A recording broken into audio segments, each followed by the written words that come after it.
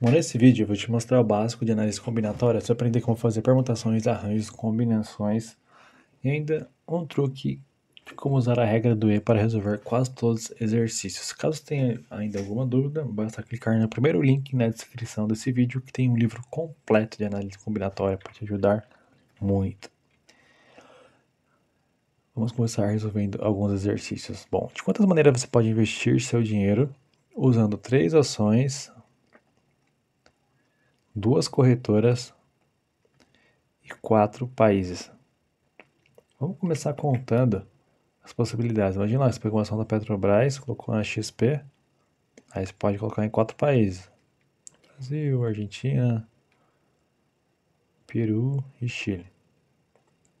Então vamos contar. Uma, duas, três, quatro. Você pegou a mesma ação da Petrobras, colocou numa segunda corretora, né? C6 Bank colocou nos mesmos quatro países. Então a gente tem lá 1, 2, 3, 4, 5, 6, 7, 8. Deu para notar aqui já né, que se a gente usou em uma ação 8 possibilidades, em três ações, nós teremos quatro possibilidades para você investir seu dinheiro. Mas será que existe um jeito mais rápido de a gente fazer esse negócio? Basta a gente notar o seguinte: é, aqui são três ações, duas corretoras e quatro países. Se a gente multiplicar os três, 3 vezes 2, 6 vezes 4, dá os mesmos 24. Toda vez que aparecer o E, a gente vai fazer a multiplicação. Só lembrar da palavra vezes, tá vendo que o E aparece duas vezes? Então o E Vamos relacionar a multiplicação. Isso aqui tem um nome que é o princípio fundamental da contagem.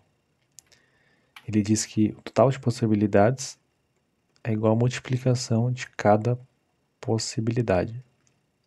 Só que essa regra aqui dá para resolver em quase tudo de análise combinatória. Vamos fazer um outro exemplo para a gente ver ainda melhor isso. Ó, nesse exemplo, a gente quer investir nosso dinheiro a gente pode investir três ações das corretoras quatro países, ou a gente pode investir em três criptomoedas ou cinco commodities. A pergunta é: de quantas maneiras a gente pode fazer esse investimento? A gente já viu no problema anterior que se a gente tem três ações, duas corretoras e quatro países, nós temos 24 maneiras para investir. Ou nós podemos investir em três criptomoedas e 5 commodities. Aqui nós temos 5 maneiras, 15 maneiras de investir. O total de possibilidades que a gente pode investir nesse caso vai ser 24 mais 15, que é igual a 39 possibilidades. Toda vez que aparecer o ou, nós vamos usar o mais. jeito fácil de você lembrar isso daí, é só lembrar aqui, ó. Somou ou então está relacionado a mais, ou soma. O ou vem do ou, que está relacionado a mais. Vamos ver como a gente pode aplicar essas duas regrinhas básicas, mas que fazem você acertar tudo de análise combinatória. Que o e multiplica e o ou soma. Vamos fazer esse exercício aqui. Quantas senhas é possível formar com cinco algarismos de quatro dígitos. Então, vou escrever aqui, ó. É... Um, dois, três, quatro dígitos. A gente tem cinco algarismos. Então, a gente colocar aqui o primeiro dígito, dígito 1, um, a gente pode colocar 1, 2, ou 3, ou 4, ou 5 ou seja, a gente tem cinco possibilidades. Para o segundo dígito, a gente tem cinco possibilidades. Para o terceiro, cinco. Quarto, cinco também. Então, se a gente multiplicar isso daqui, vai ser igual a 5 quarta, que é igual a 625 possibilidades. Agora vamos resolver o item A.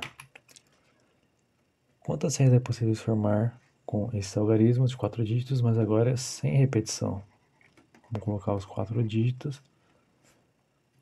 No primeiro dígito, a gente pode colocar aqui o 1, ou 2, ou 3, ou 4, ou 5. A gente tem cinco possibilidades. No segundo dígito, a gente também poderia colocar 1, 2, 3, 4 ou 5, caso fosse com repetição. Mas esse problema, como é sem repetição, então a gente vai ter que tirar um número. Por exemplo, a gente tivesse dados aqui a senha 5523. Como saiu 5 na primeira posição, a segunda posição não pode ser o 5. Aqui só poderia ser o 2, 3, ou 4, ou 1. Então aqui teria quatro possibilidades. A mesma coisa na terceira posição. Poderia ser uma senha desse tipo? 5, 5, 5, 3? Também não. Porque aqui poderia ser apenas o 2, 3 ou 1. Porque o 5 e o 4 já saíram antes. Então aqui são só três possibilidades. Por final, aqui são só duas possibilidades. Como uma senha é composta do primeiro dígito e segundo e terceiro e quarto, para resolver isso, basta multiplicar as possibilidades. 4 vezes 5, 20, vezes 3, 60, vezes 2, 120. Então aqui a gente achou que sem repetição é igual a 120 possibilidades. Bom, esse problema aqui do questão 3, ele é um arranjo.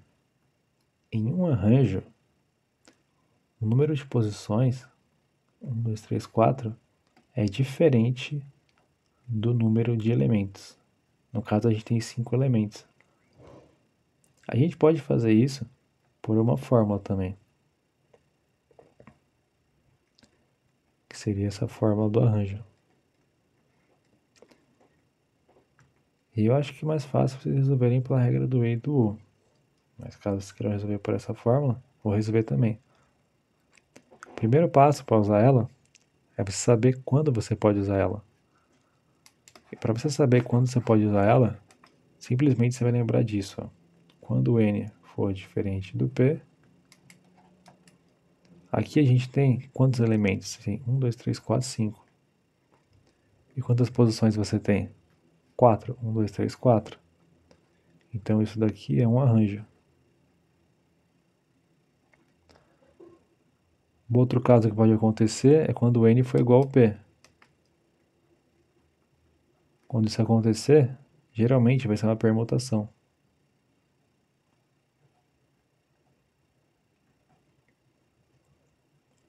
Aqui também nesse caso, geralmente poderia ser uma combinação. Mas não importa muito o que é cada coisa. O que importa é vocês saberem resolver. Nesse caso, a gente tem que o n igual a 1, 2, 3, 4 quatro elementos. Melhor, o n igual ao número de elementos, que é igual a 1, 2, 3, 4, 5. Aqui a gente vai dividir, por 5 menos o número de posições. 5 fatorial por 1 fatorial. 1 fatorial é igual a 1. 5 fatorial é igual a 120. A gente chegou no mesmo valor.